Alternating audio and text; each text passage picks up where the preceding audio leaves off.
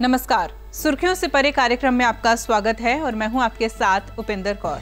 इस कार्यक्रम में हम उन जानकारियों को शामिल करते हैं जो सुर्खियाँ नहीं बटोर पाती हैं। तो आइए शुरुआत करते हैं आज की हेडलाइंस के साथ। नवरात्र का छठा दिन आज आज है माँ कात्यायनी की पूजा का विधान। सुबह से ही मंदिरों में उमड़ रही है भक्तों की भारी भीड़। 11 साल में बनकर तैयार हुआ पटना का बांके बिहारी मंदिर 100 करोड़ की लागत से हुआ तैयार। रामलला के दर्शन अवधि में तीन घंटे की हुई बढ़ोतरी, श्रृंगार और विश्राम आरती के समय में भी हुआ बदलाव।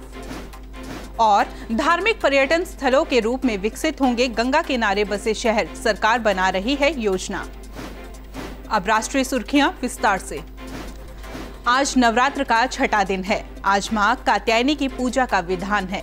माँ कात्यायनी को दुर्गा जी के छठे अवतार के रूप में जाना जाता है। शास्त्रों के अनुसार देवी ने कात्यायन ऋषि के घर उनकी पुत्री के रूप में जन्म लिया था। इस कारण इनका नाम कात्यायनी पड़ा। माँ कात्यायनी अमोघ फलदायनी मानी गई हैं। बिहार की राजधानी पटना में भगवान कृष्ण को समर्पित बांके बिहारी मंदिर बनकर तैयार हो गया है, जिसका उद्घाटन 3 मई को होना है। करीब 100 करोड़ की लागत से 11 साल के लंबे समय में बनकर तैयार हुआ ये मंदिर चौरासी खंभों पर टिका है। दो एकड़ के क्षेत्र में फैले इस चार मंजिला मंदिर को ताजमहल बनाने वाले कारीगरों के वंशजों ने बनाया है। खास बात तो ये है कि ये मंदिर बेंगलुरु, वृंदावन और जुहू के बाद देश का चौथा सबसे बड़ा इस्कॉन टेंपल है।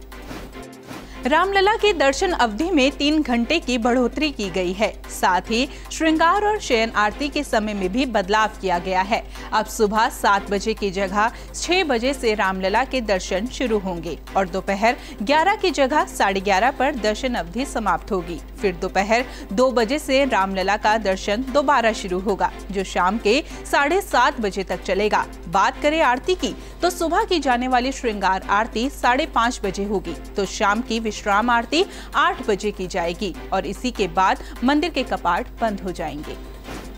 सरकार हिंदुओं के बीच पवित्र मानी जाने वाली गंगा नदी के किनारे न केवल ऐतिहासिक और पौराणिक महत्व के स्थानों को बढ़ावा देने, बल्कि इसके आसपास के क्षेत्रों की अर्थव्यवस्था के विकास के लिए एक नया पर्यटन नेटवर्क तैयार करने की योजना बना रही है। माना जा रहा है कि गंगा सर्किट योजना के तहत इस काम को आगे बढ़ाया जाएगा।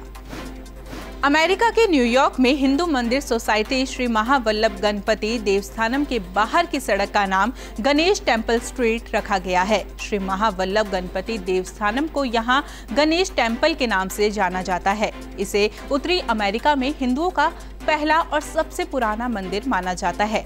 मंदिर के बाहर की सड़क का नाम बाउने स्ट्रीट था, लेकिन एक विशेष समारोह में इस सड़क का नाम प्रसिद्ध गणेश मंदिर के सम्मान में गणेश टेंपल स्ट्रीट रखा गया है।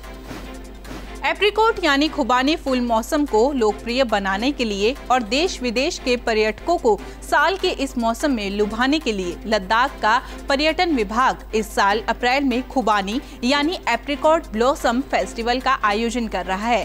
कारगिल और लेह में शुरू हो रहा ये महोत्सव 13 अप्रैल से 22 अप्रैल तक चलेगा। इस साल इसे चुली मेंटॉफ थीम के साथ आयोजित किया जाएगा। आपको बता दें कि लद्दाख में खुबानी को चुली कहा जाता है। अब आप भारत में भी ले सकते हैं फ्लोटिंग ब्रिज का मज़ा। और इसका मज़ा आप ले सकते हैं केरल के कोजिकोड में। यहाँ समंदर में फ्लोटिंग ब्रिज बनाया गया है, जो लहरों के साथ हवा में लहराता है। जैसे जैसे पानी की लहरें आगे बढ़ती हैं वैसे वैसे ये ब्रिज हवा में झूलता है। 100 मीटर लंबे इस ब्रिज पर जाने से पहले टूरिस्ट को लाइफ जैकेट पहनना अनिवार्य है। सुर्खियों से परे कार्यक्रम में आज के लिए बस इतना ही। लेकिन जाते जाते आपको छोड़ जाते हैं आज के इतिहास के साथ। नमस्कार।